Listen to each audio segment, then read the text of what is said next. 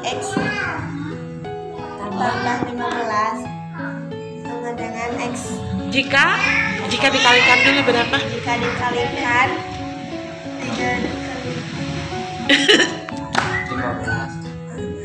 tiga dikali lima lima belas. Jika ditambah jika dijumlah delapan.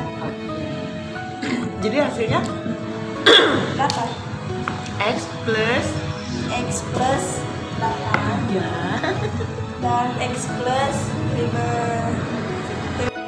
Assalamualaikum warahmatullahi wabarakatuh. Hai halo, ketemu lagi dengan Kartika Kuri Channel. Kali ini aku akan berbagi tentang pengajaran matematika di panti asuhan. Cara memfaktorkan persamaan kuadrat. Sebagai contoh, x kuadrat ditambah 5x ditambah 6. Bagaimanakah cara memfaktorkannya? Ini dia caranya. Karena jalan utamanya adalah jika dikalikan sama dengan 6 dan dijumlahkan sama dengan 5, ketika anak bingung, kita gurunya jangan bingung. Buatlah deretan-deretan angka 1 sampai 10. Kemudian baris kedua juga 1 sampai 10. Kemudian anak disuruh memilih jika dikalikan sama dengan 6, jika dijumlah sama dengan 5. Ternyata anak berhasil loh memilihnya yaitu 2 dan 3. Berikan sampai 3 contoh. Lalu siswa diberikan latihan dan presentasikan.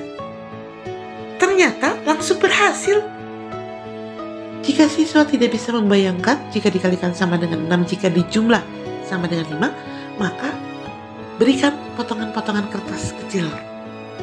Isinya adalah angka yang berderet 1 sampai 10. Buat dua baris. Biarkan siswa mengeksplor sendiri. Jika dikalikan 6, jika dijumlah 5, pilih dua angka ini. Berikan sampai tiga contoh. Ternyata berhasil. Yes!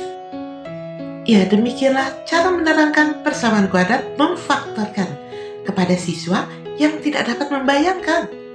Nah, berikan kontekstual. Semoga menginspirasi ya. Salam sukses.